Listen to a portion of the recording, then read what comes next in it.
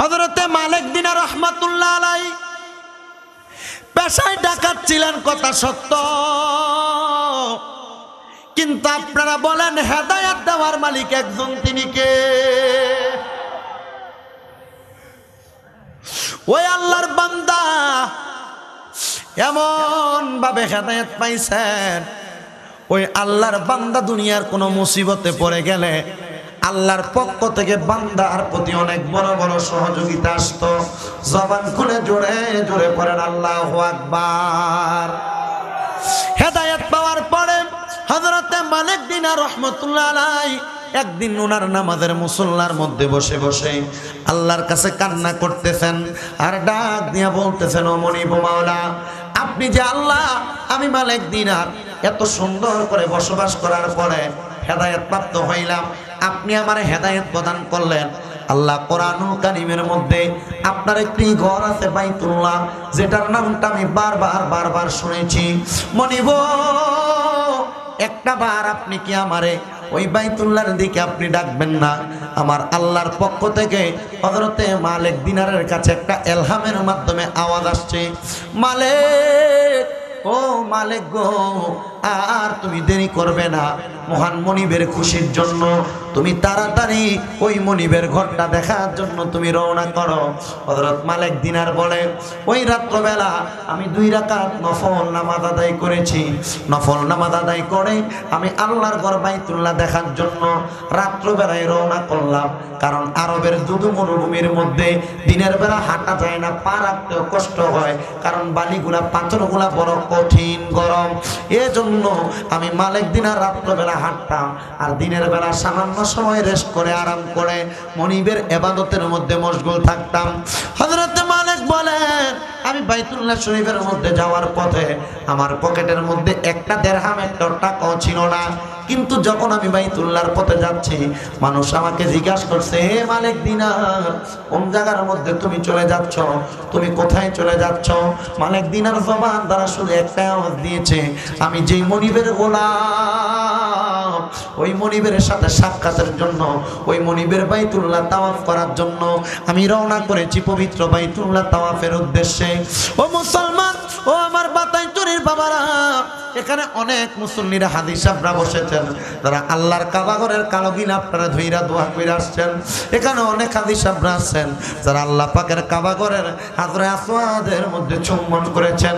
এখানে অনেক হাদিস সাবরা আছেন, যারা হাতিমে কাবার ভিতরে দুই রাকাত নামাজ পড়ছেন।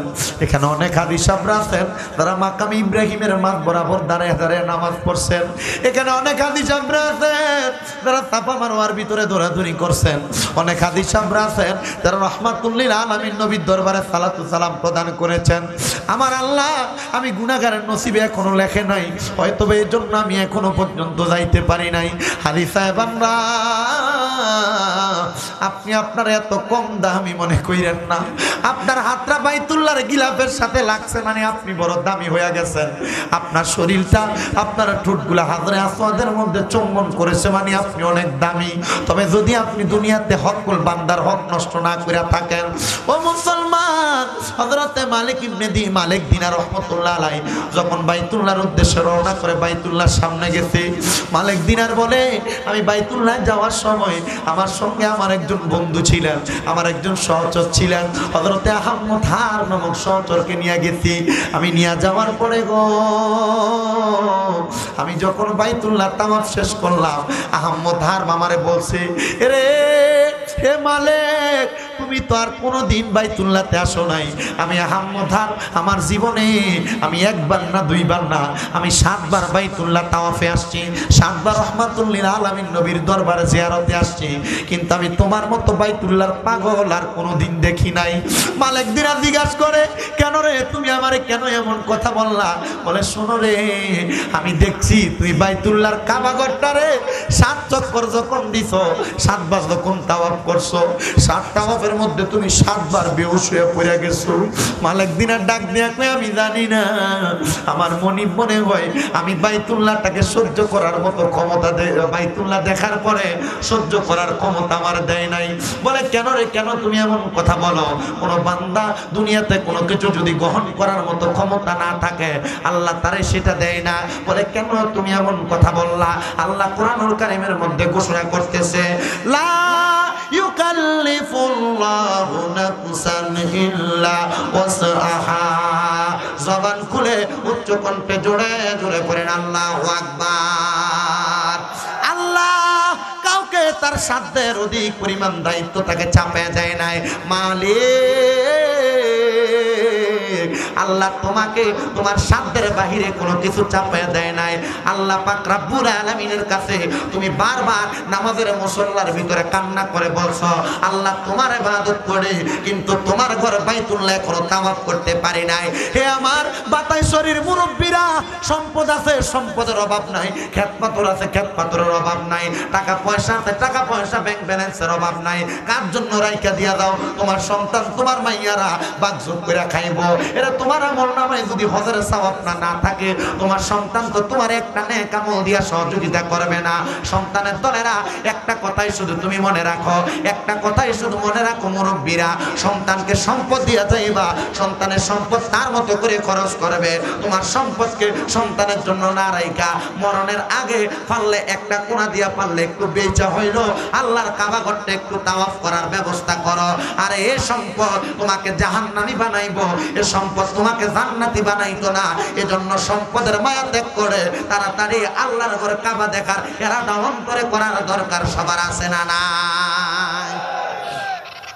মুরব্বীরা, আপনাদের সবার কাছে আমার আবদার। আপনার তো জায়গা জমি আছে মোটামুটি।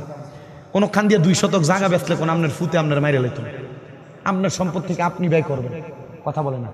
এই সম্পদ যে ফুতেরে দিয়া যাইবেন, এই ফুতে যে এই সম্পদ দিয়ে আপনার জন্য দোয়া করব গ্যারান্টি আছে? ফুতে যদি বেচ্চা বেচ্চা খায়, এমন অনেক বাদামি আছে না, বাপের সম্পদ রেখে গেছে বেচ্চা বেচ্চা খা তো ফুতে বেচ্চা বেচ্চা খাইবো, আপনার কোনো লাভ হবে না। এর আগে ইন্তেকাল করার আগে একবার একবার নির্দিষ্ট পরিমাণ সম্পদের মালিক হলে বড় হজ। মানে যেটাকে আমরা হজিল হজ মাসের দশ তারিখের হজ বলি, ওই হজটা করার চেষ্টা করেন। আর যদি সেই পরিমাণ সম্পদের মালিক না হন, একটা অংশ বিক্রি করে কত লাগে? হয়তো এক লাখ পঁয়ত্রিশ, চল্লিশ হাজার টাকা লাগে উমরা হজটা করতে। একটু কষ্ট করে আল্লাহর বাইতুল্লাহটাকে তাওয়াফ করে আসেন। আপনারা বলেন দরকার আছে না? এই আল্লাহর বাইতুল্লাহ তাওয়াফ করছেন এমন কয়েকজন হাত তোলেন তো।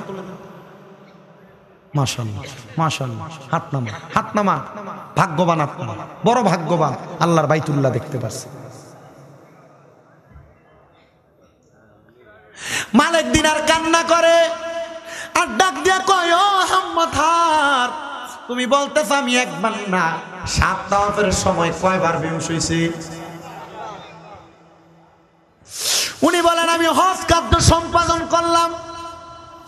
সম্পাদন করে আমি রহমাতুল্লিল আলমিন নবীর দরবারের কাছে যেয়া যেয়া বারবার কান্না করতে করতে আল্লাহর কাছে দোয়া করলাম।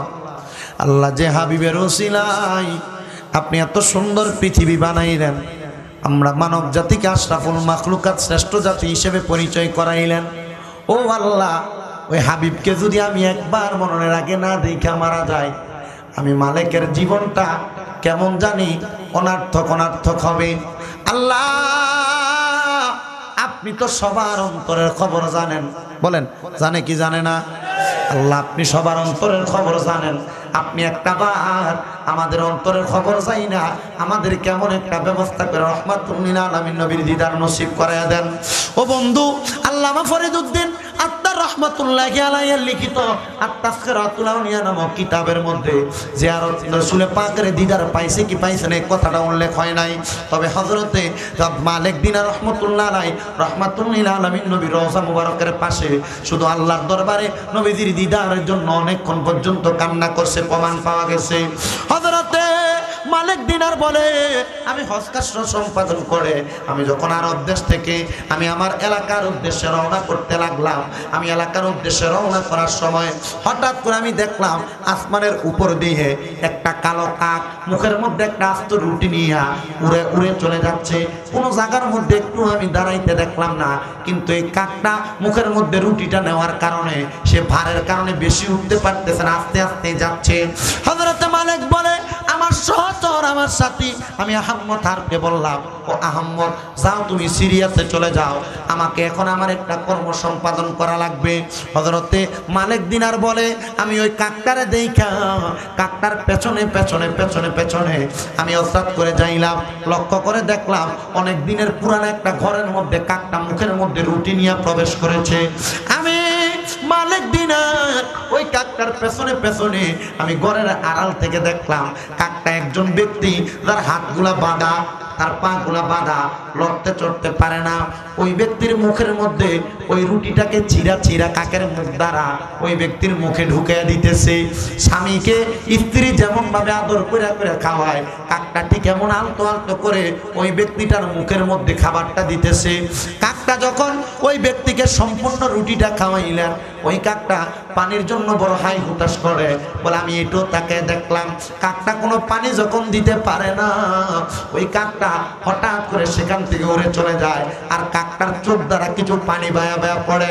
আল্লাহর অলি যারা, বেলায়াত প্রাপ্ত যারা তাসাউদ তত্ত্বের মালিক যারা তাসাউদ তত্ত্ব যারা ধারণ করেছে, এরা জানে দুনিয়াতে কোনো কর্ম সম্পাদন হইলে কি কারণে কর্মটা সম্পাদন হয়েছে এরা মোরাকাবা করে বসতে পারে। বলেন, কি কাবা? মুরাকাবা করে বুঝতে পারে। হজরত মালিক দিনার বলে, কাকটা খাওয়াইলো বুঝতে পারলাম, কিন্তু কেন কাকটা চোখগুলা দিয়া পানি পড়ে, আমি সেটা বুঝতে পারলাম না। তবে পরবর্তীতে আমি নামাজের মুসল্লা বিছাইয়া দুই রাকাত নামাজ আদায় করলাম। নফল নামাজ আদায় কইরা আল্লাহর কাছে জিজ্ঞাসা করলাম, আল্লাহ এ কাকটা কেন কান্না করেছে? তোমার কাছে আমি মালিক জানতে চাই। আল্লাহ আমি মালিক দিনারে জানাইছে রে মালিক। এ কাকটা ওই ক্ষুধার্ত ব্যক্তিটারে রুটি খাওয়াইছে, পানি না খাওয়াইতে পাইরা কান্না করছি। ও আল্লাহ! যার হাতগুলা বান্দা, যার পাগুলা বান্দা গো ওই বান্দাটা এমন কোন দামি মানুষ, যার এই কাকটা পানি না খাওয়াইতে পাইরা কান্না করছে। মালিক দিনার বলে, আমি ওই লোকটাকে বাধা অবস্থায় দেখা তার ঘরের মধ্যে প্রবেশ করলাম। ঘরের মধ্যে প্রবেশ কইরা সর্বপ্রথম আমি তার হাতের বানটা ছুটে দিলাম। দ্বিতীয়ত আমি তার পায়ের বানটা ছুটাইলাম। আমি আবার তারে প্রশ্ন করলাম, ভাইজান, আপনি বলেন না আপনি এই জায়গার মধ্যে বন্দি কারাগারে কেমনে পড়ে আছেন? এখানে তো কোনো মানুষের কোনো সমাগম নাই। নিরাল বাড়ি। এই জায়গার মধ্যে আপনি কেন পড়ে রইলেন? এবার ওই আগন্তক ব্যক্তি মালিক দিনারকে, ওই ব্যক্তি বন্দি ব্যক্তিটা উত্তর প্রদান করতেছে, হে আল্লাহর বান্দা, আমি এখানে এমনে এমনে আসি নাই। আমি ব্যবসার মাল নিয়া এ সিরিয়ার জমিনের দিকে আমি রওনা করে যাচ্ছিলাম হঠাৎ করে মাদ্রাস্তায় আমার ডাকাত দলে নদী পথের মধ্যে আটকায়া আমার সব মাল নিয়ে গেছে। আর আমার হাতগুলা, পাগুলা, মুখটা বাইন্দা আমার এই আলাদা বাংলু ঘরের মধ্যে রাইখা দিয়া গেছে। কিন্তু আমার কেউ ছাড়ে না। আল্লাহর কসম, আমি একটা না তিন দিন এই ঘরের মধ্যে আটকা পড়ে আছি। এই তিন দিন আমার নামাজ কই? তবে আমি নামাজ আদায় করছি আমার ইশারা দিয়া। বলেন, কি দিয়া? কি দিয়া? কি দিয়া? আপনি যদি জ্বর করতে মসজিদের কাছে দিয়ে যান না। মসজিদে যাবেন আমরা নামাজ পড়বেন, দূরের কথা। আমরা খোঁজ খবর টোয়াইয়ে পাওয়া না। আর দূর রাখ। তুমি কইছো যে তুই হরনি নামাজ। বয়ে বয়ে বুট খাওয়া মনে করছ দেহি না। হ্যাঁ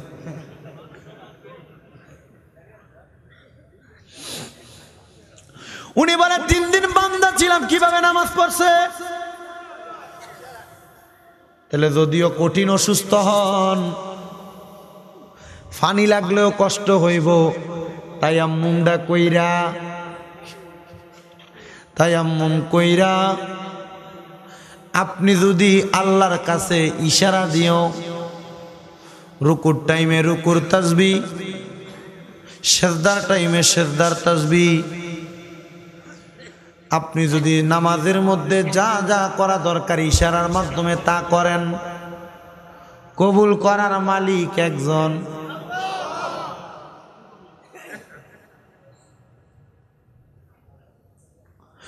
হজরতে মালিক দিনার ডাক দিয়া কয় ভাইজান কিন্তু আপনি ইশারা দিয়া নামাজ পড়েছেন জানি, কিন্তু কাকটা দে আপনারে খানা খাওয়াইলো, দুনিয়ার কোন মাখলুকাত মানুষের সামনে আসতে বড় ভয় পায়। আপনারা সাপ দেখলে দৌড় মারেন না সাপ কিন্তু আপনারা দেখলে ভয় পায়। সাপ মানুষ দেখলে ভয় পায়। দুনিয়ার মাখলুকাত, দুনিয়ার জমিনের মধ্যে টাকা অবস্থায়, দুনিয়াতে এসে তার কর্ম নিয়ে ব্যস্ত থাকে। কিন্তু আপনি বলেন না, আপনার কাক নামক মাখলুকাতরা আপনারে খানা খাওয়াইল। এ কাকটা কেমনে আপনার কথা শুনছে? আল্লাহর এবাদতকারী বান্দা বলতেছে, আমি এখনও বলি নাই মানলাহুল মাওলা ফালাহুল কুল। ও মুসলমান, ও নবীর উম্মতের দলেরা, নবীর উম্মতের দলেরা মনোযোগের সাথে শুনবেন। আজকের জান্নাতের বাগানের মধ্যে যারা বসলেন, আল্লাহর বান্দা শুধু তেলাওয়াত করে শোনাইছে মানলাহুল মাওলা। কন্যা, ফালাহুল। এই কথাটা যারা রেয়াজতকারী বান্দা, তাকওয়াবান বান্দা, তাদের জন্য খুব শক্ত কথা। এরা দুনিয়াতে জীবনে যদি পেটের ক্ষুদা মইরেও যায় কারোর কাছে চায় না। ওই তাকওয়াবান বান্দা। কারণ এ জানে, যেই ব্যক্তি মাওলার হইয়া যায়, সারা সব কিছু তার হইয়া যায়।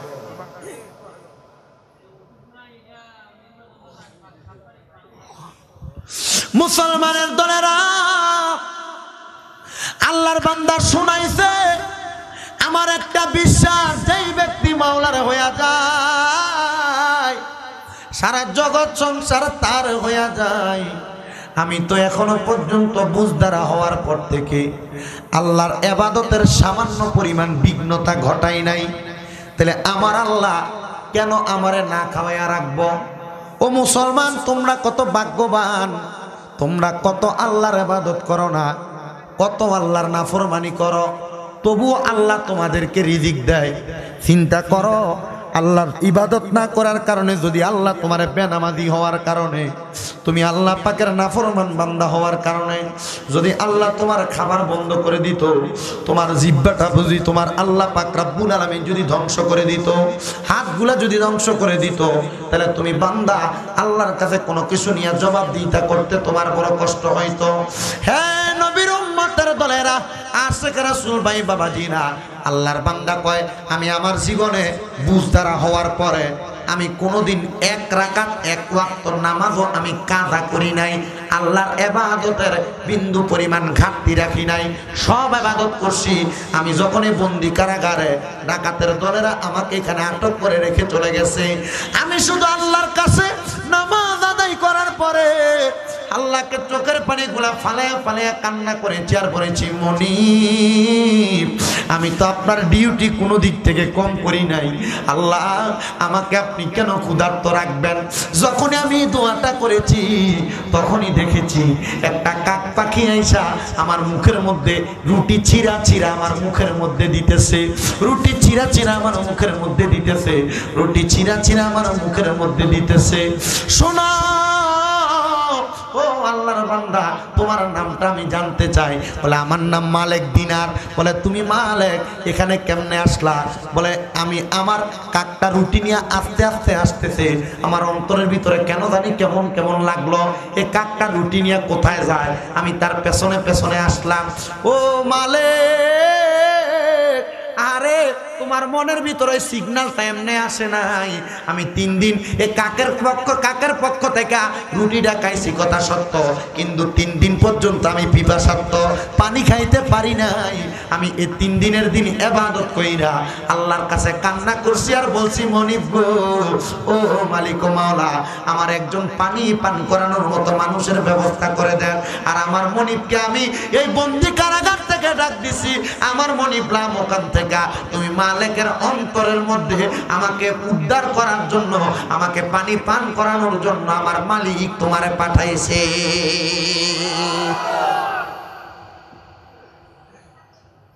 আপনি ওই মনিবের কাজ করলে মনিব আপনাকে উদ্ধার করবে। কথা ঠিক আছে? এই তাকওয়া যদি বিশ্বাস অন্তরে থাকে, আপনারা দুনিয়ার কোনো মানুষ বিপদে ফেলাইতে পারবে না। দুনিয়ার কোনো মুসিবত আপনাকে গ্রাস করতে পারবে না। যদি এই তাকওয়া আপনার ভিতরে থাকে বিশ্বস্ততা আপনার ভিতরে থাকে। অন, আপনার তো এই বিশ্বস্ততাই নেই। করুণা অনেক মসজিদের ভিতরে মুসলির অভাব নাই। কিন্তু এই সময় ইবাদত করা বন্ধ। এক লগে জটলা বান্ধা বন্ধ।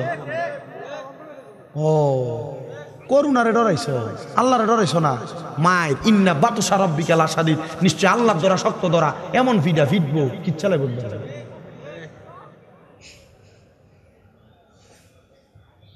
তাহলে বলেন, যদি আপনি মাওলার কাজ করেন, আপনারা বাঁচাইব কে?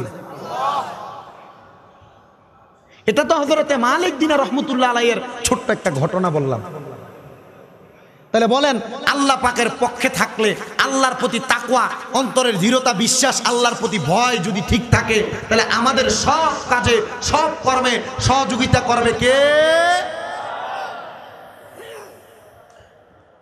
দুই নাম্বার আরেকটা ছোট্ট ওয়াকে শোনাই দিই।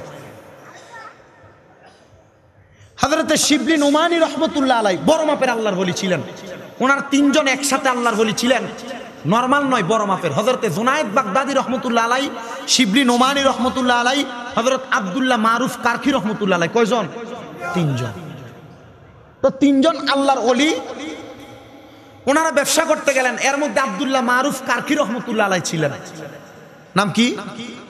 আবদুল্লাহ মারুফ কারখি রহমতুল্লাহ আলাই আবদুল্লাহ মারুফ কারখি উনি ব্যবসার মাল ইয়ামেন থেকে ইরাক পর্যন্ত আনতেন। কোথায় আনতেন? ইরাক পর্যন্ত। তো যারা আগে এ ব্যবসার মাল আনা নেওয়া করতেন ওনারা আগের যুগের ব্যবসায়ী, এই এই, কি- বাজার না? বাতাইছড়ি বাজার। বাতাইছড়ি বাজারের ব্যবসায়ীরা, আপনারা যারা মনে করতেছেন, নামাজের ওয়াক্তে মসজিদের ভিতরে গেলে আপনার ব্যবসা বন্ধ হয়ে দেব বা কম বেচা কিনে হইব এই ছোট্ট একটা ঘটনা থেকে আপনি শিক্ষা গ্রহণ করেন। এই ছোট্ট একটা ঘটনা থেকে আপনি শিক্ষা গ্রহণ করেন যে নামাজের টাইমে নামাজ, ব্যবসার টাইমে ব্যবসা। মনিবের কর্মের টাইমে মনিবের কর্ম, ব্যবসার টাইমে ব্যবসা। আপনি যখন মনিবকে রাজি খুশি করবেন, সারাদিন দোয়ানদারি করা লাগতো না। কি কন? ঠিক আছে নি? আমি এমন উদাহরণ লগে লগে ঘুরি। এই যে জামাল ভাই, দাঁড়ান। বাড়ি গো। দিগলগাঁও বাড়ি। বইয়েন। আমি উদাহরণ লগে লগে ঘুরি।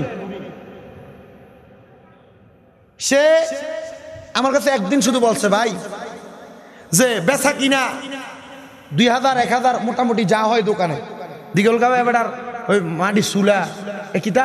সিমেন্টের চুলা, এরপরে ওই সিমেন্ট, এরপর ওই বাথরুমের রিং টিং, এগুলা এগুলা বিক্রি করে। বালু টালু ইট নাকি? এগুলা এগুলা বিক্রি করে, সিমেন্ট বালি আর কি। স্যানিটারি বা এমন, ধরেন যা বিক্রি করে। বাবুরে আগে তো কিছু কইতাম না, হরে তোমার ফসার হয়ে দেবো বেশি। এ বাজারের ব্যবসায়ীরাও বেতন লাগবো। কি করেন আপনারা? এবারে কইছে যে দুই, এক হাজার টাকা, দেড় হাজার, দুই হাজার টাকা বিক্রি করি। একদিন আমাদের বাড়িতে আসছে, ওইখান থেকে উনি ওনার এখানে গেছে। দেখো, দোকান খুইলা, পাঁচ হাজার সাতশো টাকা। না জানি কত টাকা বিক্রি করছে। তা আমি এতটুক বলছি, এ ধুমা ফরার লেগে দিগলগাঁও থেকে গেছে কুমিল্লা। এখান থেকে যদি পাঁচ হাজার সাতশো টাকা বিক্রি করতে পারে। এবাদতের মনোমুগ্ধকরতা থাকলে আল্লাহ যদি আপনার যদি সম্পদ বাড়াইতে পারে, তো আপনার দোকান থাক না, নামাজের ওয়াক্তর টাইমটা বন্ধ। আল্লাহ চাইলে মাত্র আসর থেকে মাগরিব পর্যন্ত এক ঘন্টারও কম সময়ে আপনাকে আল্লাহ লাখ লাখ টাকার ব্যবসা দিতে পারে কি পারে না? ভিতরে বিশ্বাসটা রাখেন। এই বিশ্বাসটা ভিতরে রাখেন। আমি তো মূর্খ মানুষ, এর সাথে ভালোবান আমার কাছে নাই।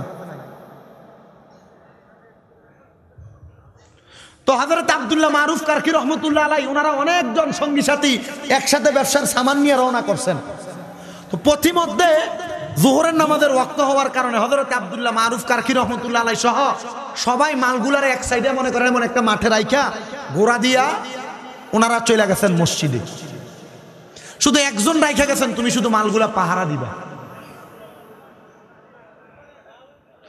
একজন যখন রাইখা গেছে ওনারা নামাজ শেষ করে বাইর হবে, এই টাইমে একজন দৌড়ে আসকে বলতেছে, হে আবদুল্লাহ মারুফ কারকি কেমন ভাবে জানি আমাদের সবার মালগুলার ভিতরে আগুন লেগে গেছে। তুমি একটু তাড়াতাড়ি চলো। তো সাথে যারা ব্যবসায়ী ছিলেন, তারা সবাই দৌড়ে চলে গেছে। আবদুল্লাহ মারুফ কারকি আর দৌড়ে যাও আবদুল্লাহ মারুফ কারকি দৌড়াইয়া?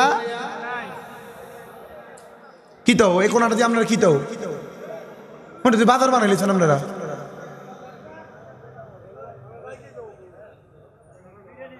শেষ করে লেতেছি শেষ। বিরিয়ানি বলে মানুষ হইতো না দেখে, মানুষের হইতো না দেখে আরেক ডেক ভয় ফেললে কেন আমি দেরি করতেছি।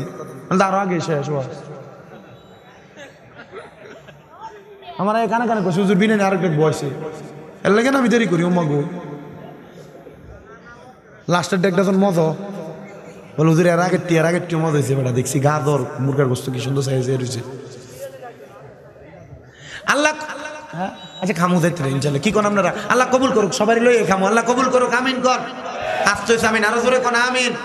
ঘটনাটা বলার আগে একটু মহাব্বতের আমাদের দূর চলি আমরা মনে কেমন জোরে মুরগার মতো হয়ে গেছে। জোরে আল্লাহ না।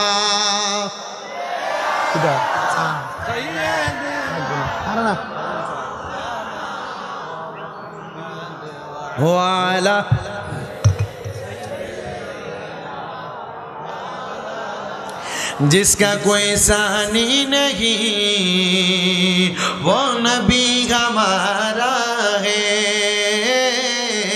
جس کا کوئی ثانی نہیں، وہ نبی ہمارا ہے۔ مصطفیٰ کی عظمت کا حد نہ کنارہ ہے۔ اللہم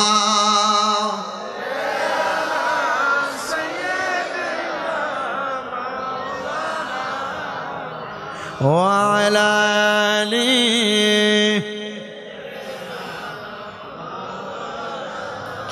হে মুসলমান, ও নবীর উম্মতের দলেরা, ব্যবসায়িকরা তাদের মাল, সামান সব কিছু রেখে দিয়ে সবাই যখন নামাজ পড়তে গেলেন, নামাজ শেষ করার পরে তারা আস্তে আস্তে মসজিদ থেকে বের হচ্ছেন এমন টাইমে তাদের মালের প্রহরীটা ঈশা জবাব দিতেছে, ডাক দিয়ে বলতেছে, হে বণিকেরা তোমরা তো তোমাদের ব্যবসার মাল রেখে গিয়েছিলে। আমি একটু সামান্য সময় আমার হাগত সম্পাদন করার জন্য, আমার নিজের ইস্তেঞ্জা সারার জন্য আমি একটা জায়গায় গেলাম। যাওয়ার পরে আইসা দেখি কে জানি আমাদের সম্পদের মধ্যে আগুন লাগিয়ে দিছে।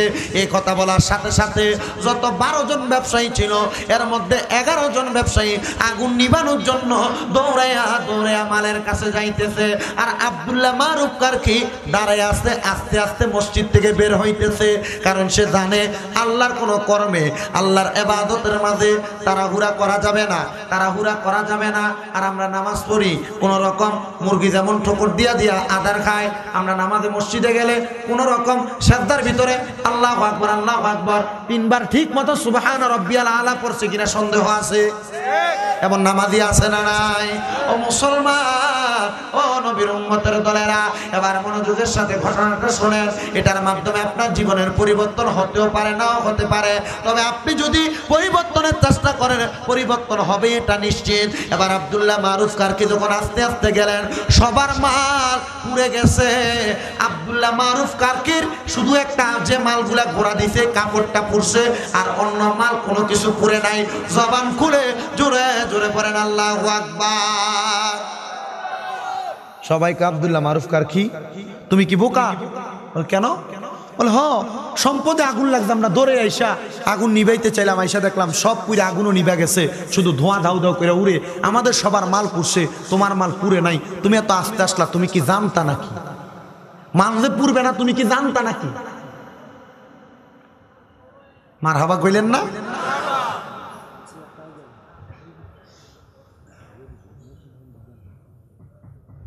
আচ্ছা আব্দুল্লাহ মারুফ কার কি জানতো? জানতো? মুরব্বী কি কইছেন? আল্লাহর প্রতি ভরসা। হ্যাঁ জানতো, এ আল্লাহর কাজ করলে আল্লাহ তারটার হেফাজত করব। একটু পিছনে।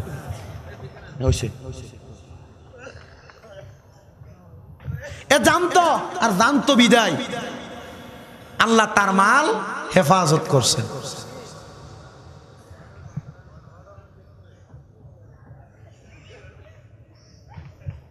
কেমন আছেন? ভালো আছেন? হ্যাঁ। আজকের মাহফিলের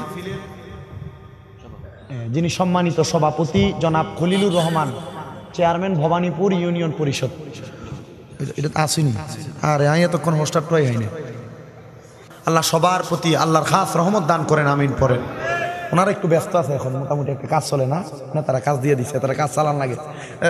এর লাগে একটু মোটামুটি এটা কোনো টেনশন নাই। আমরা মুনাজাত দিলাম একবারে দেখলাম আমরা ইনশাল্লাহ কি করেন আপনারা? আল্লাহ কবুল করুক আমি তাড়াতাড়ি দিয়ে ঘুমাই তৈব। ও কি না কি? হ্যাঁ। আমি কইছি না আমি জানি। নির্বাচনের কালকে কয় তারিখ? সাত তারিখ। নির্বাচনের আগে পরে কয়েকটা মাহফিল একটু হইল মোটামুটি বন্ধ হইব। এজন্য বুঝা আগে যে ইন্ডিয়ান বিষয়টা লাগাইলিস এক তারিখ থেকে আট তারিখ পর্যন্ত ইন্ডিয়া মাহফিল দেখছে আট দিনে দশটা। আলহামদুলিল্লাহ তো কয় না। কয়টা এই এত কথা কইেন না। ভাই তা আমার আম্মা পাশে না তারা দিয়ে লেবা আমারটা। আল্লাহ কবুল করো কামিন কন। যাইয়েন এটা আপনার নিজের আলাদা গণতান্ত্রিক অধিকার তো ভোট দিয়ে আইয়েন। যেটা আপনার পছন্দ এটাই দিয়ে। কি কন আপনি? কথা কই না খা আল্লাহ কবুল করুক আমিন আস্তে কইয়েন। এটা আস্তে আস্তে কইলে কেন আস্তে কই বুঝি? আর জোরে কন আমিন। সবাই আব্দুল্লাহ মারুফ কার কি দিকে তুমি কি বোকা নাকি? বল কেন? বল আমরা মাল পুড়ে গেছে। আমরা দৌড়ে আসলাম তোমার মাল পুড়ে দেওয়ার ভয় কি তোমার ভিতরে নাই? আব্দুল্লাহ মারুফ কার কি কয়? যে মনিবের জন্য আমি দুনিয়াতে এত আবাদত করি, ওই মনিবের কাজ তো আমি শেষ করে ফেলাইছি। তো ওই মনিব আমার মাল, সম্পদ সব রক্ষা করার দায়িত্ব ওই মনিবের। আমার এগুলো উনি রক্ষা করবে। বলে, তুমি কি পালন করছ? বলে, আমার যত সম্পদ আছে এর সম্পদের বিন্দু পরিমাণ জাকাত আমি বাকি রাখি নাই, সব জাকাত আমি দিয়ে দিছি।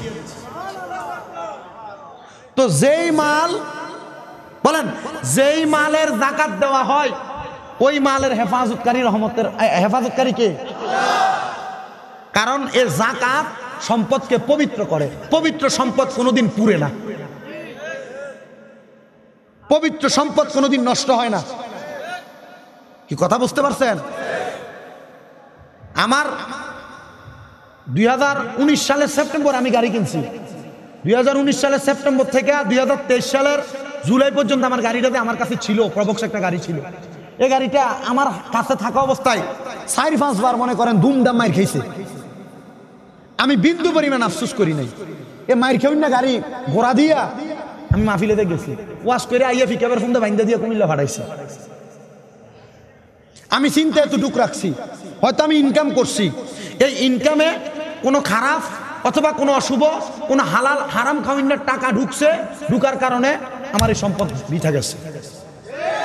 কথা কয় না কেন? কথা কি বুঝতে পারছেন?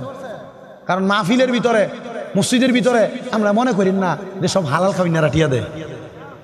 আমরা যে বন্ধা দিয়ে টিয়াটা দেন, এটার ভিতরে হারাম খাওয়াইনার টিও আছে। এই কথা কয় না কেন? এগুলো এগুলো আমি আল্লাহ কোনো টেনশনই করি না। আমরা মাঝে মাঝে কয় দাও, বইলে এ লেগে একটু নিরালো, একটু মাইনা লইয়া লই। হ্যাঁ তারা তো জানে না, আমরা সম্পদের হিসাব কোন দিয়া যা না, আমি এটা এইভাবে মন্তরে রাখি। তো মাঝে মাঝে আমার আমি আমার জীবনে যাদের সাথে চলাফেরা করছি, আমি কখনো তার সাথে নিজের ভাইয়ের সাথে যে আচরণ, আমি তার সাথে এমন মন দিয়ে চলাফেরা করছি। আমার সাথে অনেক বেইমানি হয়েছে। আমি আমার ওস্তাদের গেছি। আমি আমার একজন শায়েক মানি, যিনি কুমিল্লা বক্সিয়া দরবার জামে মসজিদের এখনও বর্তমান খতিব। মানন আব্দুল মান্নান হুজুর। আমি হুজুর একদিন জিগেলাম, হুজুর, যার লগে বন্ধুত্ব করি, হে আমার দি ফিসি দিয়ে গোস কাটে, হে আমার ক্ষতি করতে চায়। হুজুর, কাহিনীটা ক? শোনো তুমি তার সাথে বন্ধুত্ব কি কোনো কিছু পাওয়ার আশায় করছ? কোনো স্বার্থ আছে? না। কেন করছ? হুজুর তার সাথে চলতে আমার ভালো লাগে। এজন্য গেছি। হুজুর বলছে এটার যা যা আল্লাহর পক্ষ থেকে তুমি পাবা। সে যদি তোমার সাথে কোনো দিক থেকে কোনো খারাপ কোনো খাতে কোনো বেইমানি করে থাকে অথবা কোনো অপদস্থতা করে থাকে এটার জবাব সে আল্লাহর কাছে দিবে। এই কথা শোনার পর আলহামদুলিল্লাহ এখন পর্যন্ত কেউ বেইমানি করলে আর মনে কষ্টই পাই না। তার মানে সব ঠিক আছে না বিষয়টা? কষ্টই পাই না। কারণ কষ্ট পাবো কেন? অন্তরে যদি আল্লাহর প্রতি তাকুয়াটা ঠিক থাকে, আমি কষ্ট পাওয়ার কথা না। আল্লাহ আমাদেরকে বোঝার তৌফিক দান করুন। আরও ধরে জোরে বলেন, আমিন। সবাই এই কথা বলার পর উনি বলছে, আমি আমার আল্লাহর এই সম্পদ যে আমার দিছে, এটার দায়িত্ব পালন করে ফেলছি। মানে জাকাত দিয়ে দিছে। আপনারা যারা এই পঞ্চাশটা লুঙ্গি আর ষাটটা লুঙ্গি দিয়া ফুরান ফুরান কাপড় বা ফাতলা ফাতলা কাপড় দিয়ে জাকাত দিয়ে শেষ করে লান হিসাব করে দেখেন সম্পদের পরিপূর্ণ হিসাব করে জাকাত দিচ্ছেন কিনা। আপনি যেই পরিমাণ অর্থের মালিক, ওই পরিমাণ অর্থের জাকাত আপনি দিচ্ছেন কিনা। আপনারা বলেন, এই ইসলামের শরীয়ত সম্পূর্ণ যে কর্মকাণ্ডগুলা, মুসলমান হিসেবে দায়িত্বগুলো আমরা পালন করার দরকার আছে কিনা? উনি বলেন, আমি সব দিছি এগারো জনের মধ্যে একটা আছে, একটু বেশি সালাক। মালিক, তুমি সব দিছ, কিন্তু তোমার মাল, যে চাদর দিয়া ঘোরা দিছ, ওই চাদরটা তো পুইরা গেছে। মালগুলা যে চাদর দিয়া ঘোরা দিছে, ওই চাদর তো পুড়ে গেছে। এ মালেক, এ চাদরটার জাকাত কি তুমি দেও নাই? বলে, এটা আমি এখন বলতে পারতেছি না, বাড়িতে যাইতে হইব কারণ আমার ঘরের আছে এগুলার হিসাব আমার স্ত্রী আমাকে পুঙ্খানু পুঙ্খানু ভাবে দিয়েছে। আর দেওয়ার কারণে আমি সকল কিছুর জাকাত দিয়েছি। এবার হজরতে আবদুল্লাহ মারুফ কার কি বলেন? আমি যখন আমার বাড়ির মধ্যে গেলাম, স্ত্রীকে জিজ্ঞাসা করলাম, হে স্ত্রী, বনি কাফেলা নিয়ে ব্যবসা করার জন্য যখন আমি সিরিয়া থেকে বের হলাম ইয়ামেনের উদ্দেশ্যে, তুমি আমাকে একটা কাপড় দিয়েছিলে, যা দ্বারা আমি আমার মালগুলাকে ঢাকনা দিয়ে রাখব। তুমি কি আমার ওই কাপড়ের জাকাত আদায় করার জন্য আমাকে হিসাব দাও নাই। স্ত্রী বলছে, স্বামী গো, না, আমি দিতে পারি নাই। বলে, কেন? অন্যান্য কাপড়ের সাথে এই কাপড়টা একসাথে মিশ্রিত অবস্থায় ছিল। এই জন্য এ কাপড়ের টাকার হিসাব আমি আপনাকে দেই নাই, স্বামী, কি হয়েছে? বলে হ্যাঁ এই এই কাপড়টা পবিত্র ছিল না। কারণ এই কাপড় পবিত্র করার জন্য আমি নির্দিষ্ট পরিমাণ জাকাত আদায় করি নাই।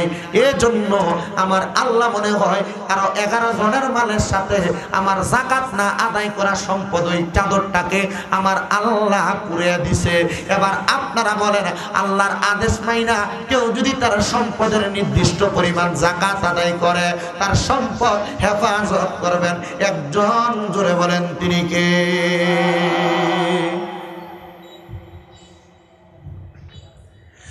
শেষ বেলায় একটা আবদার করে দিয়ে যায় আল্লাহর সব হক আপনি আদায় করলেন, এবাদত করলেন। কিন্তু আপনার সব চাইতে বড় হকদার আপনার ঘরের মধ্যে আপনার মা বাবা ওই মা বাবার প্রতি আপনি এহসান করলেন না। সন্তান মনে রাখবেন, আপনি আপনার মা বাবার প্রতি এহসান না করার কারণে আপনি কিন্তু ময়দানে মাসরে জালেম রূপে আল্লাহর কাঠগড়ার মধ্যে দাঁড়াইবেন। বলে, হুজুর, কেন? এ সন্তানের দলেরা তোমার মা বাবা ইন্তেকাল করার আগ পর্যন্ত, ইন্তেকাল করার পরে তোমরা সন্তানের দায়িত্ব কিন্তু কম না, কিন্তু তোমরা তোমাদের মা বাবার নির্দিষ্ট পরিমাণ দায়িত্ব পালন করো না। বলে, হুজুর, কেন এমন কথা বললেন? সন্তান তোমরা দুই ভাই, তিন ভাই, চার ভাই হয়া আম্মা আব্বারে তোমরা বিয়া শাদি করার পরে বাইয়ে বাইয়ে ঝগড়া লাইগা আম্মা আব্বারে তোমরা জুদা করে দাও। বাইয়ের বউয়ের সাথে তোমার বউ ঝগড়া কইরা আম্মা আব্বারে তোমরা জুদা করে দাও। এক সপ্তাহ বড় ভাইয়ের ঘরে খায়, এক সপ্তাহ মেজো ভাইয়ের ঘরে খায়, এক সপ্তাহ ছোট ভাইয়ের ঘরে খায়। সন্তান সাত দিনের বেশি, আট দিনের দিন তোমার বাবা মা তোমাদের ঘরের মধ্যে গেলে ইশারা দিয়া বলা, আজকে কে আমার ঘরে খারানি অন্য ঘরে?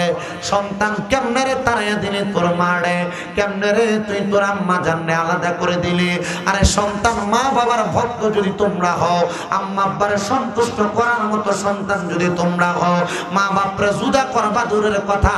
আম্মা আব্বা দুইজন এক ঘরে খাইতে বসবে। চার ভাই যদি আলাদাও হয়ে যায়, জুদাও হয়ে যায়, চার ঘর থেকে চার রকমের তরকারি মা বাবার সামনে আসবে।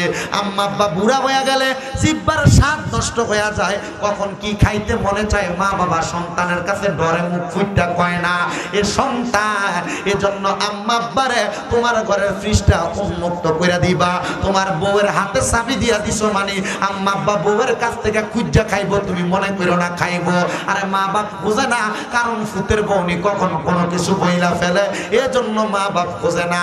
সন্তান তোমার কদমে হাত দিয়া বলে, তোমার কদমে হাত দিয়া বলে, যদি তোমরা তোমাদের মা বাবার সাথে এমন কর্ম করে থাকো, কেউ যদি আলাদা করে দিয়া থাকো তোমার মতো সুতার আমার দরকার নাই। বলে, হুজুর, কেন?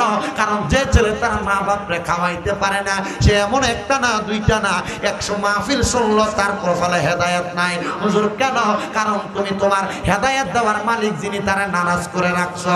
হুজুর মা বাপরে না নারাজ করছি, হেদায়েত দেওয়ার মালিকরে কেমনে নারাজ করলাম? আরে শোনো রেদার রব্বি ফি রিদাল ওয়ালিদাইন, আম্মা আব্বার সন্তুষ্টিতে আমার আল্লাহ সন্তুষ্টি। সাকাতুর রব্বি ফি সাকাতিল ওয়ালিদাইন আম্মা আব্বার সন্তুষ্টিতে আমার আল্লাহ সন্তুষ্টি। তোমার আম্মা আব্বার সন্তুষ্ট করে রাখছো। আম্মা আব্বার মনে আঘাত দিয়ে রাখছো। অবশ্যই অবশ্যই তোমার মা বাবারে অসন্তুষ্ট করার কারণে আমার আল্লাহ তোমার প্রতি অসন্তুষ্ট। সন্তান, লাখ লাখ টাকা কামাই করতে পারো। এই টাকা কামাই করে কোনো শান্তি পাবে না। এজন্য তোমার কদমে হাত দিয়া বলি, এখান থেকে বাড়িতে যাওয়ার পর এক নাম্বার দায়িত্ব, তুমি তোমার মার পায়ের মধ্যে ধরে মাপ চাইবা। বাবার পায়ের মধ্যে ধরে মাপ চাইবা। মা আব্বা হস্তে আমি সন্তানকে মাফ করে দেন। যতক্ষণ পর্যন্ত মাফ করে দিছি, শব্দটা মুখ দিয়া বাইর হয়েছে। ততক্ষণ পর্যন্ত মা বাবার কদম ছাড়বা না। কারণ ওই আম্মা আব্বা মাফ না করলে ওই খোদা মাফ করবে না। সন্তানের দল হাত দিয়া বলি, ওই আম্মা আব্বার কাছে ক্ষমা প্রার্থনা করবা। আরে ক্ষমা প্রার্থনা করার কথা বলব দূরের কথা। এমন সন্তান আছে, দুই দে মা বাবার পায়ে ধরে সালাম করে না। প্রশ্ন করলে বলবে, হুজুর পায়ে ধরে সালাম করব, দূরের কথা। সালাম করব, আমার কাছে নিজের কাছে বড় লজ্জা লাগে। এ সন্তান হে নবীর উম্মতের দলেরা, লজ্জা করো না, আল্লাহর নবী শিখে দেয়। মাঝে মাঝে সুযোগ পাইলে আম্মা আব্বার কদমে চুম্বন করবা। আরে মা বাবার কদমে চুম্বন করলে আল্লাহর জান্নাতের চৌকাটের মধ্যে চুম্বন করার সওয়াব পাওয়া যায়। আল্লাহর জান্নাতের চৌকাটে চুম্বন করার সওয়াব পাওয়া যায়। অনেকে চিন্তা করতেছে হুজুর আমি কেমনে বাড়িতে যে মা বাবার পায়ে ধরে সালাম করব আর মাপ চাইব? আমি তো কোনো অন্যায় করি নাই। অন্যায় করো নাই, চিন্তা করবা না। আম্মা আব্বার কদমে দললে কোনো সন্তান ছোট হয়ে যায় না। আরে হুজুর, ছোট হব দূরের কথা। তাদের বাড়িতে বাবা আছে, তারা বাড়িতে যে বাবার পায়ে ধরে মাপ চাইব। আমার তো বাবা নাই, আমি কার পায়ের মধ্যে ধরে মাপ চাইব? হুজুর, আমার তো মা নাই, আমি কার পায়ের মধ্যে ধরে মাপ চাইব? সন্তান আব্বা নাই, আম্মা নাই, তোমার মনের মধ্যে বড় কষ্ট। আলোচনা শেষ করে দিচ্ছি। ধৈর্যের সাথে শেষ সময় একটা ওসিয়ত তুমি শুনে যাও। যদি তোমার মা বাবা না থাকে, আম্মা আব্বার জন্য রব্বির হামহুমা কামা রব্বায়ানি সগিরা বলে বলে দোয়া করবা। আর সন্তান মনে মনে চিন্তা করবা, আল্লাহ তোমার আগে সম্পদ দেয় নাই। তোমার আম্মা আব্বা তোমার বড় কষ্ট করে লালন পালন করেছে। তোমার ঘরে খাবারের অভাব নাই, কিন্তু মা বাবা পূর্বে তোমার ভালোভাবে খাওয়াইতে পারে নাই। এখন তোমার ঘরে কত শত শত মেহমান খাবার খায়, কিন্তু তুমি চেষ্টা করলেও তোমার আম্মার মুখে এক লোক মা খানা তুইলা দিতে পারো না। আম্মা যান অন্ধকার কবরে। আব্বা যান ফিরা লুঙ্গিটা পরে সময় কাটাইছে। আব্বা যান দামি কোনো লুঙ্গি কিনা পরে নাই। সন্তান তোমার ভালো জামা কাপড় কিনা পরাইছে। আব্বারে জিজ্ঞাসা করলে আব্বা উত্তর দিত, আমার তো এখন আর দামি পোশাক পরার মতো সময় না। আমি মুরব্বী হয়ে গেছি। কিন্তু অভাবের কথা তুমি সন্তানের কাছে কুইলা বলতো না। সন্তান, এখন তুমি হাজার হাজার লক্ষ লক্ষ টাকার মালিক। কিন্তু তুমি তোমার আব্বা জানলে পাঁচশো টাকা দিয়ে একটা লুঙ্গি কিনা পরাইতে পারো না। আব্বা জান অন্ধকার কবরে। তাদের সন্তানের যে সন্তানদের এখানে আছেন, আপনাদের মা বাবা আছে, আল্লাহর হস্তে আপনাদের কাছে আমি একটা কথা বলে দিয়ে যাই। আম্মা আব্বা যদি থাকে, ওই আম্মা আব্বার প্রতি সম্মান আম্মা আব্বার প্রতি তাজিম আম্মা আব্বা নামক রত্নটাকে এখন থেকে যত্ন করা শুরু করেন। আপনারা বলেন মা বাবারে সন্তুষ্ট করলে সন্তুষ্ট হয় একজন, তিনি কে? আল্লাহ আজকের মাহফিল থেকে আল্লাহকে বেশি বেশি স্মরণ রেখে, আল্লাহকে ভয় করে আমাদের পূর্ববর্তীদের প্রতি খেয়াল রেখে আল্লাহ যেন তাকওয়াবান হয়ে বাঁচার এবং আমাদেরকে ইমান এবং আমল এ দুইটা পুঁজি নিয়ে কবরে যাওয়ার প্রস্তুতি নেওয়ার তৌফিক এবং দুনিয়াতে আম্মাব্বা বেঁচে থাকলে আম্মাব্বার কাছে ক্ষমা প্রার্থনা করে এদের সন্তুষ্টি অর্জন করার আর যদি মারা যায়, এদের জন্য বেশি বেশি দোয়া করার তৌফিক দান করুন। সবাই পড়ি আল্লাহ আমিন।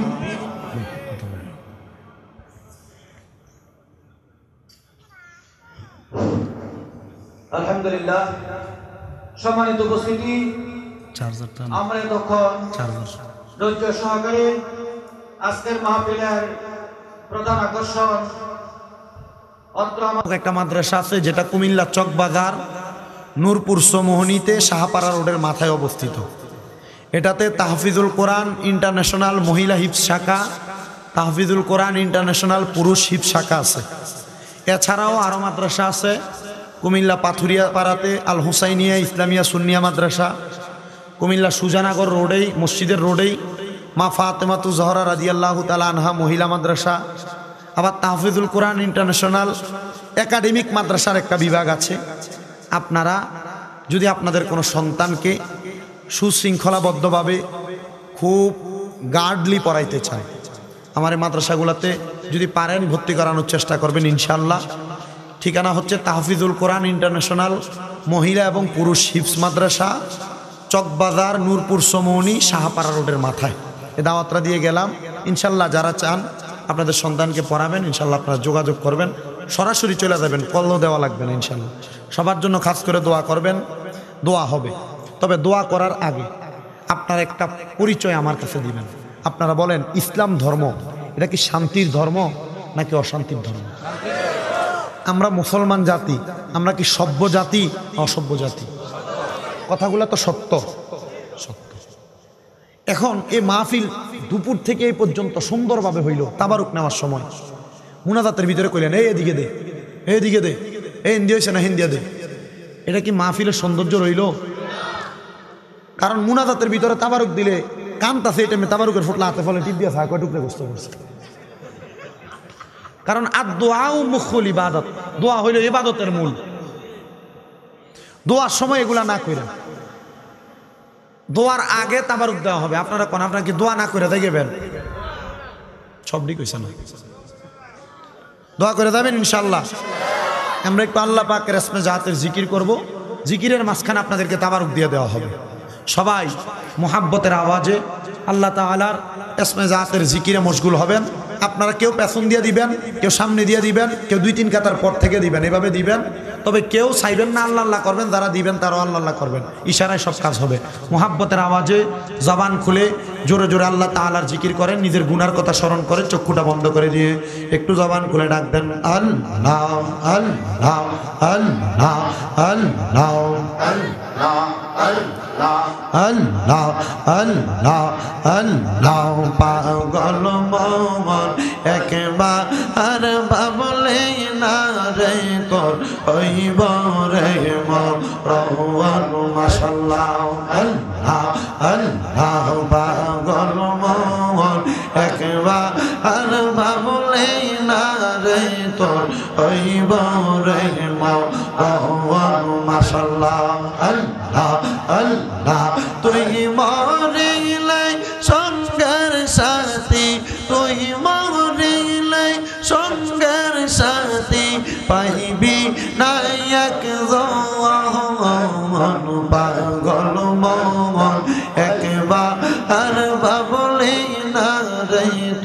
হইব রে মন মাসাল্লাহ জবানটা কুইলা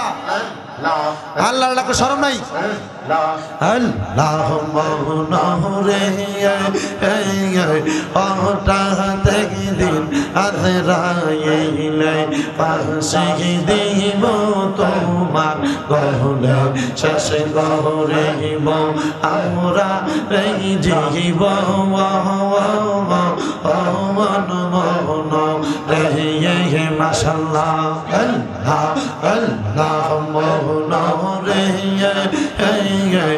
হঠাৎ দিন আজরাইলে পাশে দেখিব তোমার গহলে শেষ গহিব আমরা রে জীব মন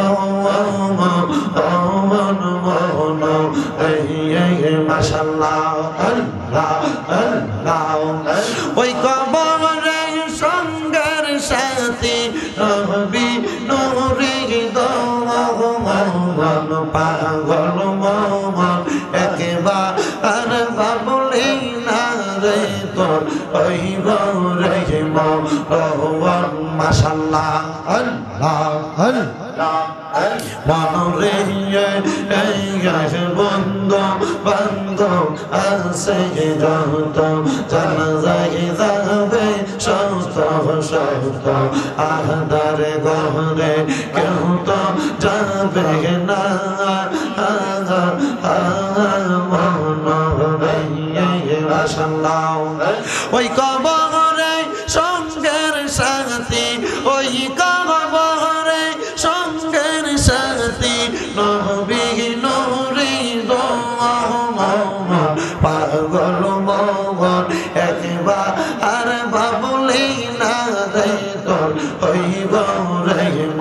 মরণ মাশাল্লাহ আল্লাহ আল্লাহ আল্লাহ আল্লাহ আল্লাহ একদিন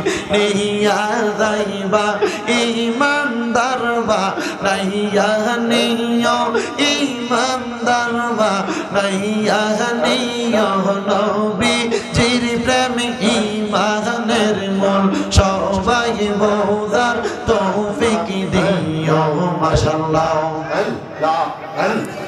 কোরআনে আহ্বায়াতে ইউহিব্বুকা হাদিসাতে হুব্বুর রাসূলি মিনাল ঈমান হুব্বুর রাসূলি মিনাল ঈমান হাদিস শরীফ দেখা লইয়া আল্লাহ একদিন নিয়া যাইবা ইমানদার বা নাইয়া নেইয়া নবীজির প্রেম ইমানের মন। সবাই বহুদার তৌফিক দিও মাশাল্লাহ কবরে পরীক্ষা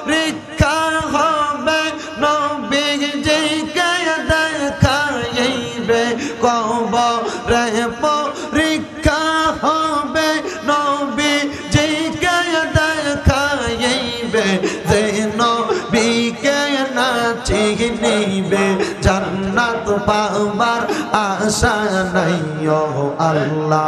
একদিন নিয়া দাইবা ইমানদার বা নাইয়া নিয় ইমানদার বা নাইয়া নিয় নবী জির প্রেম ইমানের মোল সবাই বোঝার তৌফিক দিও মাশাল্লাহ ফুল সে রাতার কঠিন পারে সেইখানে নবীকে পাবে, যে নবীকে না চিনিবে যে নবীকে না চিনিবে জান্নাত পাবার আশা নাই আল্লাহ একদিন নিয়া দাইবা মাশাল্লাহ। লা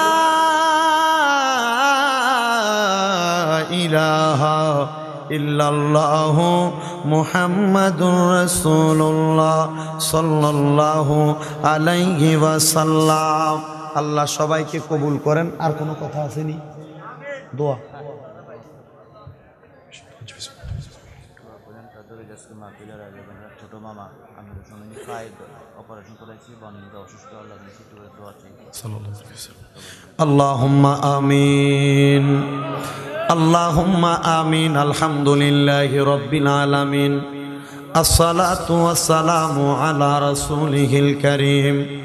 রব্বানা আতিনা ফিদ দুনিয়া হাসানাতাও ওয়া ফিল আখিরাতি হাসানাতাও ওয়া কিনা আযাবান নার ওয়া কিনা আযাবাল সাখরাতুল মাউত, ওয়া কিনা আযাবাল কবর, ওয়া কিনা আযাবাল হাসর ওয়া কিনা আযাবাল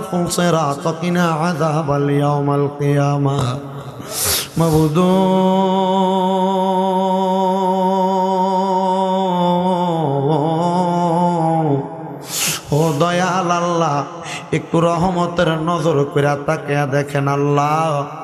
আল্লাহ, কুমিল্লা জেলার অন্তর্গত বরুড়া থানা দিন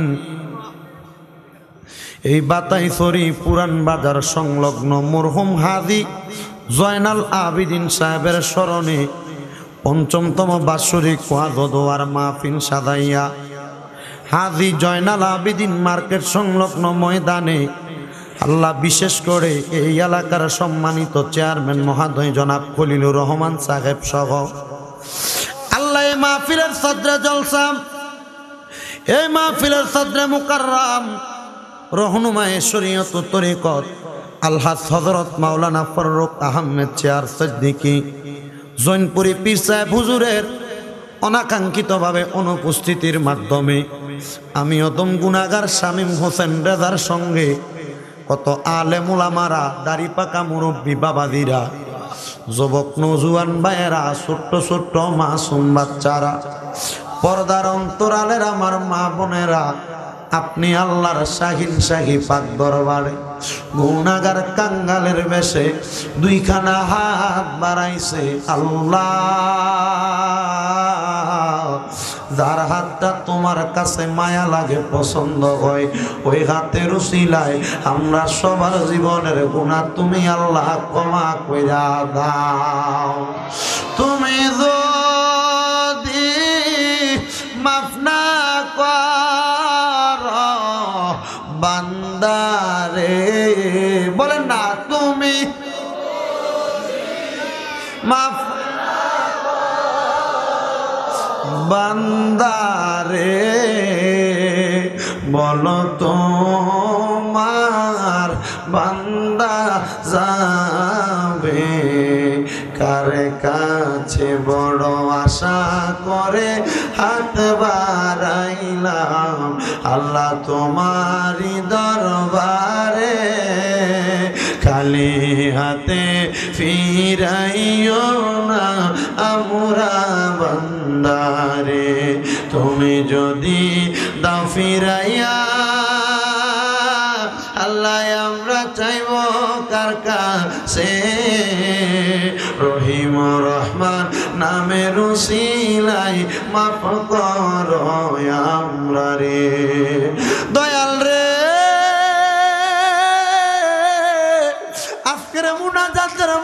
আমরা তারা হাত বাড়াইলাম।